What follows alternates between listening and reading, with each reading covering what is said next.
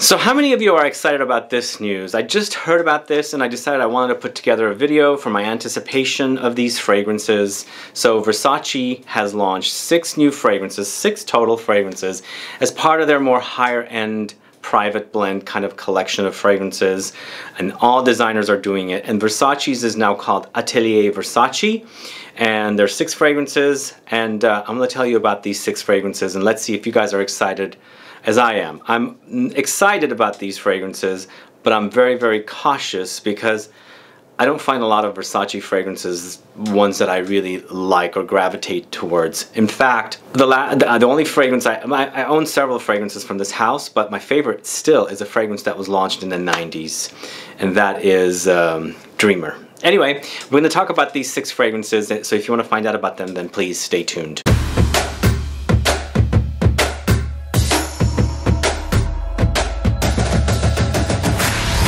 So much for tuning in. This is Sebastian with Smelling Great Fragrance Reviews. If this is your first time tuning into the channel and you love watching fragrance review videos, finding out about new fragrances like the fragrances we're going to talk about today, uh, discovering new brands, participating in giveaways and still haven't subscribed, please click the subscribe button below and also click the be bell icon so that you'll be notified for future videos and giveaways.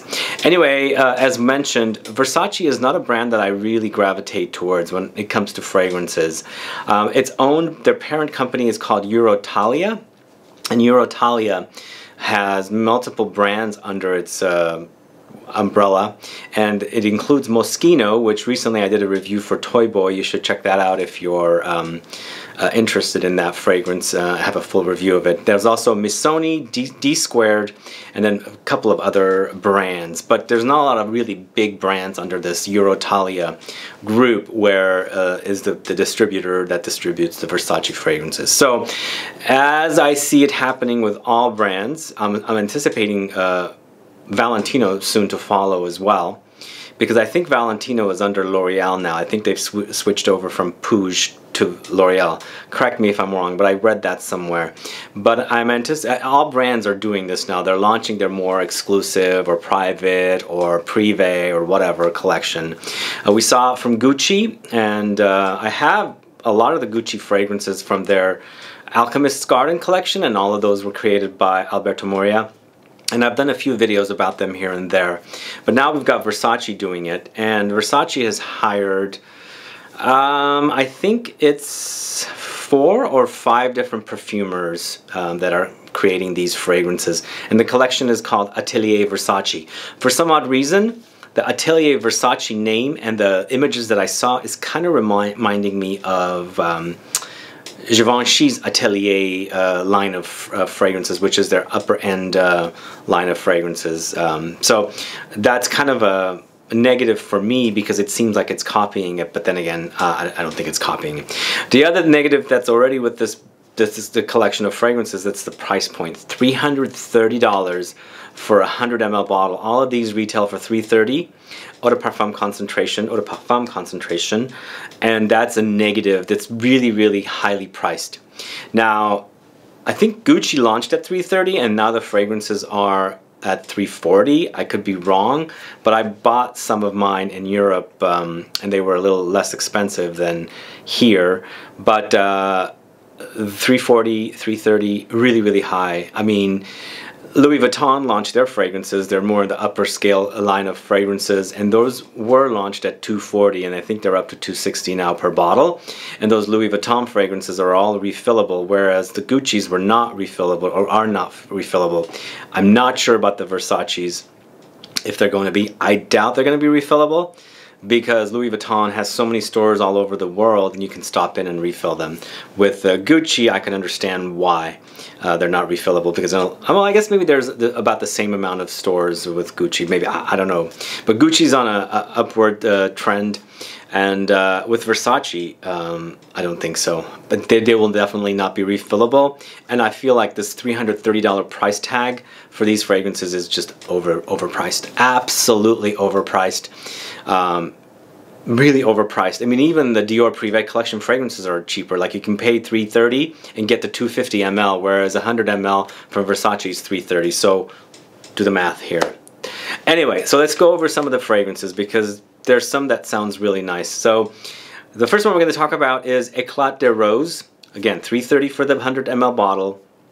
And this one is created by Nathalie Lorson, one of my favorite perfumers.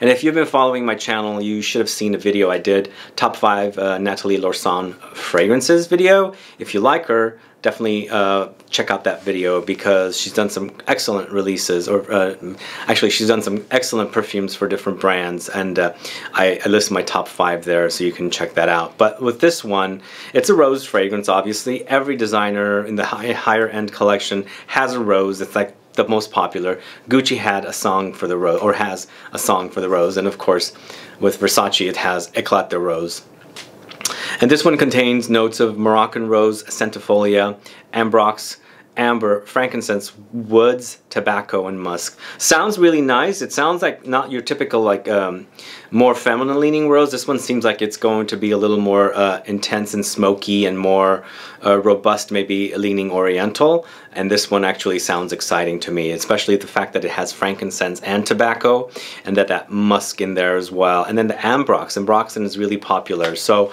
this one actually sounds great. It is created by Nathalie Lorson and I'm a big fan of hers. So I'm very, very curious about this one.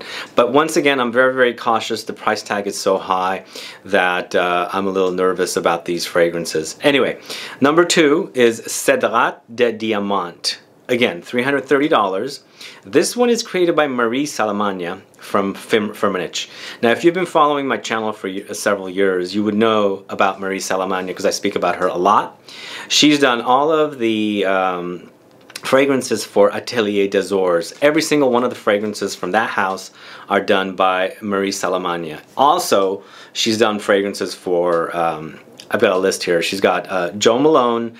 Uh, she did Maison Margiela's By the Fireplace, which is a really, really popular fragrance, and I'm sure you know that one. I've spoken about it, and that's probably one of her big sellers. And she's done a lot of fragrances for uh, Jo Malone as well, and of course several others for Maison Margiela and many other brands. So she's been around quite a bit.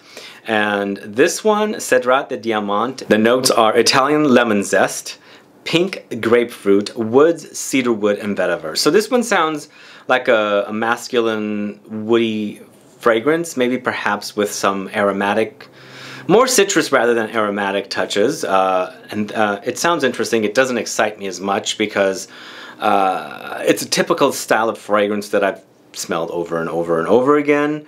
But let's see what Marie Salamagna does to it in under the the um, Versace direction we'll see um, if it goes in a positive direction or if it just falls flat because it, you know I've smelled this kind of fragrance over and over again. Anyway, that one is Cedrat de Diamant. Now, number three is another one by Nathalie Lorson. She's done two fragrances, no, two fragrances for this uh, collection, uh, the Atelier Versace collection. This one is Jasmine Au Soleil. $330 again, EDP concentration. This is uh, uh notes of uh, Indian jasmine, beeswax, hay, tobacco, lemon, cedarwood. For some odd reason, bees, beeswax I'm seeing come up a lot, and for some reason, beeswax for me is hit or miss. I like some, I don't like others. Like um, I smelled recently a musk fragrance that had the major dose of beeswax and I, I, didn't like that fragrance whatsoever. Absolutely hated it actually. And a lot of people like it, but some for some reason I think it was the beeswax in there I didn't like. So this one I'm also very cautious about. Uh, but then again, it's Nathalie Lorson, and I like what she does. Uh, again, the price tag is very high. All of these fragrances, the price tag is way too high. Way too high. The bottles are gorgeous though. Can you see how beautiful the bottles look? The caps look like the caps for the bottles from Eros, Eros Flame. Those bottles um, have that same cap. So I like the presentation just the price tag is really high. But, and again, we'll see how Jasmine Au Soleil smells like when we smell it. Uh, I don't know who's going to carry these fragrances, that's the other question. So is it going to be a blind buy situation? Is uh, Neiman Marcus or is uh, Saks or Bloomingdale's going to bring these in-house? Because I don't see a lot of Versace fragrances in any of the retailers except for Macy's. Maybe they're going to go right to Macy's. I don't know, but uh, we shall see. But then uh, I like this perfumer as I said and hopefully it'll be a nice one. But it is jasmine and jasmine tends to go feminine obviously. So there are three more fragrances. We've done three of the fragrances. Uh, this next one is called Figue Blanche. Again, 330 eau de parfum concentration. And this is created by a perfumer by the name of Marie-Pierre Julienne from Givaudan. And the only fragrance that I know of hers, I looked up her fragrances, and the only uh, one that's listed uh, was a fragrance called Boyfriend by Kate Walsh. Uh, was sold at uh, Sephora for quite a while. I think it's discontinued now. But I don't know this perfumer, and uh, I don't know what she's done. But this one is sort of exciting to me because I love the, the smell of fig in fragrances. And this one has notes of fig, Italian mandarin, bergamot, neroli, jasmine, and rose. So we'll see what happens with this one. But this one actually and the first one are the two most exciting ones so far for me. And uh, we shall see. Fig can go either really good or really like boring. So I'm hoping this one doesn't go boring. But from the notes it doesn't seem like it's going to be like like the wow factor kind of a fragrance we shall see. I don't know what Versace is going to do with their fragrances, but as I was mentioning, I'm not a big fan of their fragrances, but these ones seem a little exciting. The disappointing factor, of course, as I said, is the price tag. So that's Figue Blanche, created by Marie-Pierre Julienne from Givaudan. Next one is called Vanille Rouge, and of course, I love me my vanilla fragrances. And this is created by uh, Jordi Fernandez. Once again, the, uh, the price tag for these is 330 EDP concentration, and Jordi Fernandez I'm not too familiar with as well, but she's done fragrances for Ex Nihilo, a lot of them. Um, there's a fragrances for a brand by the name of Genyum, Genyum from Spain, who I believe was at Esxence last year uh, or earlier this year. And then she's done fragrance for Utopia and some other uh, brands, but also uh, she was mentioned under Mont Blanc Explorer. So I think Explorer had multiple perfumers listed, and she was one of the I think it's a she, was one of the, the, perfumers that worked on a Mont Blanc Explorer. So this one sounds pretty exciting to me. This is Madagascan Vanilla, Roasted Almond, Musk, and Rose. But then again, I've got so much vanilla fragrances. Do I need another one? Bottles look great.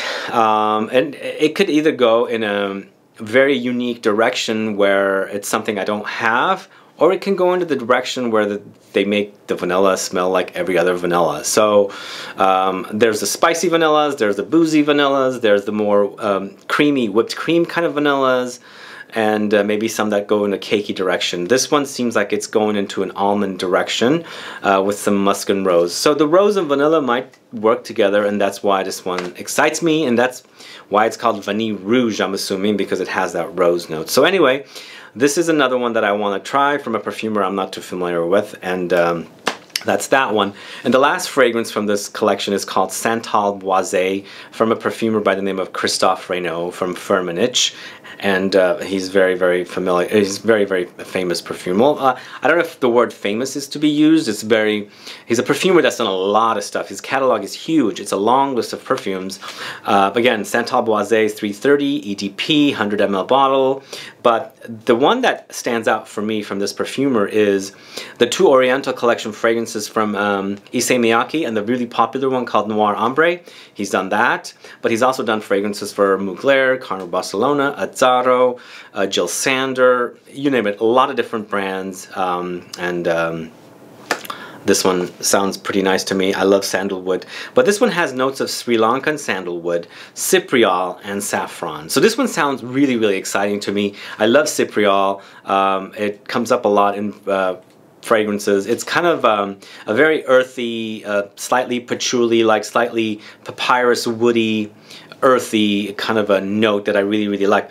Um, sandalwood can go medicinal, so cypriol also can go medicinal, so I'm just hoping this is not like your uh, pillbox in a, in a bottle, because I've smelled sandalwood fragrances before. I don't want to name who the brands are, but I've smelled sandalwood fragrances and it all it smells like is um, pills like a medicine. You open up vitamins or something and that's what it smells like. Now sometimes uh, medicinal fragrances can be great like when it has ambrette uh, musky I like that but sometimes uh, sandalwood and cypriol like uh, not necessarily uh, cypriol as well but um, some as I said some sandalwood fragrances has gone very very medicinal. Hopefully this is not going medicinal. And then there's that saffron note for an aromatic herbal quality with some uh, maybe perhaps some leathery touches as well as saffron can go uh, leathery. So this one actually sounds really great to me. Um, and we'll see what happens. I'm very, very curious about these, and uh, I'm not like I'm not like really excited because the price tag isn't overwhelmingly uh, too expensive. Uh, but uh, if they're really, really good, they're probably going to be worth it. But if then if they're um, a disappointment. Um, uh, people will notice that the price tag is too high and they're not going to go after it because again when you do the math a $330 bottle for a 250 ml Dior Privé or Maison Christian Dior collection fragrance versus a 100 ml bottle of $330, same price tag. You get more per mil, so less per mil price for the Dior, the Maison Christian Dior fragrances versus the Versace fragrances. So you have to do the math and see if if it's worth it for you. But I'm still excited. I'm very cautious about these. Let me know what you think of these fragrances, guys. Do you, first of all, do you know the perfumers that worked on these fragrances? Second of all, do you like Versace as a brand? And what do you think of this price tag for these fragrances? Is it high or is it uh, something you can afford, let me know. Put some comments down and let me know which of these fragrances sounds the best to you because I'd like to find out what kind of fragrances you like. Do you have the same taste as me? Like, do you like the sandalwood, the vanille rouge, and do you like the fig, and uh, of course the uh, rose? If you like those as well, or maybe you like the, the jasmine and the cedrat, let me know. And also, did I mention, did, have you, do you know these perfumers? If you do, let me know that as well. Other than that, guys, uh, if you have any questions or comments, please do list below. If you haven't subscribed yet, there's a subscribe button here. Please subscribe. And also, please like this video, please share it. Follow me on Facebook, Twitter, and Instagram, and I'll be back with more videos very soon. Have a good one. Goodbye.